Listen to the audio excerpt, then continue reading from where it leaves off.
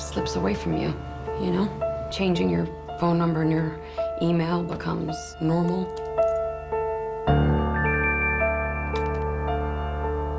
Taking out a restraining order, normal. Relocating to another city, normal.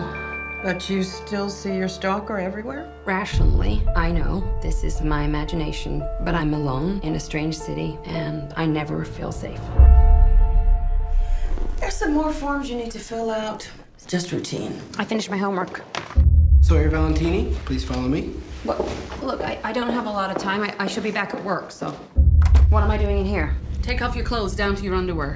I'm not sure what's happening here. The door's locked.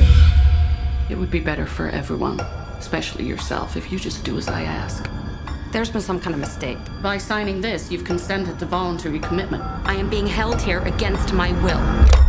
Do you know how many calls the cops get like that every week? Those are from crazy people.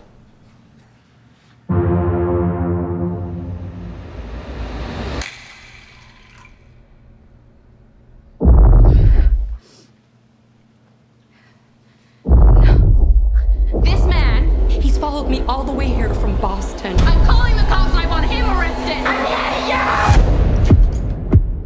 My stalker is here. We did a thorough background check. You should be protecting me. Mom, no one believes me. I'm getting you out. There's nothing we can do unless you have proof that a crime's been committed. I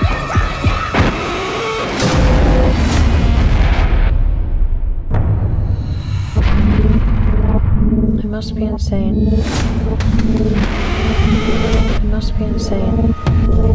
Mom didn't pick up last night. I Hello? must be insane. What happened to her? A dead body was discovered. I must be insane. I must be insane. I must be insane.